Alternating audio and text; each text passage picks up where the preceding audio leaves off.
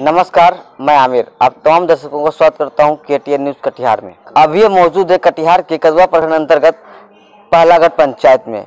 हमारे साथ मुखिया जी बने हुए हैं। हम उनसे जानना चाहेंगे आखिर पाँच साल में उन्होंने क्या किया है।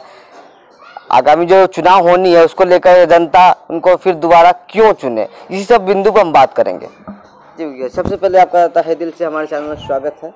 आपका भी धन्यवाद। जी मुखिया जी बताएँ आपके पंचायत में टोटल कुल कितने वार्ड हैं? हमारे पंजाब कुल पंद्रह वार्ड हैं।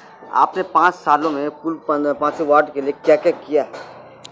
हमने अपने पाँच साल के रीजन में अपन हम अपने पंचायत वासी को एक से एक आपदा से निपटने का मौका मिला हमको। हमने सभी के साथ मिलकर सहयोग किया।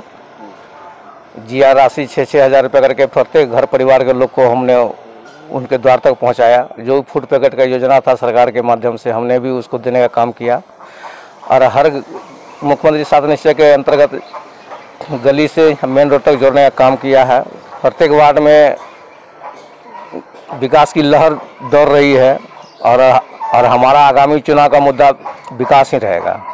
तो आगे फिर जो- चुनेगी दोबारा आपको जनता वोट देगी तो क्यों देगी वोट? आप ही को आपके अगेंस्ट में भी बहुत लोग खड़े हैं, उन लोगों को मौका क्यों नहीं मिलना चाहिए? देखिए लोकतंत्र है लोकतंत्र में कहना बहुत मुश्किल की बात है कि मतदाता किसके पक्ष में वोट करेगी लेकिन हमारा जो मुद्दा है विकास का हम हम विकास के नाम पर शेष क्या कार्य रह गए हैं? जो भी आपका जितने जित का सहरा मिलता है आपको तो उन कामों को आप पहला प्राथमिकता देंगे। जो अधूरा कार्य हमारे रीजन का रह गया हम प्रयास करेंगे उसको पूरा से पूरा करने का।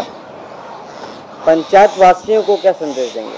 हम अपने पंचायतवासी को आपके माध्यम से संदेश देना चाहते हैं कि कोविड नाइन्टीन को ध्यान में रखते हुए मास्क का प्रयोग करें डिस्टेंस को बनाए रखें यही हमारी कामना है। अपना पूरा परिचय। जी मैं शंभू पासवान मुखिया प्रतिनिधि पहलागढ़ पंचायत।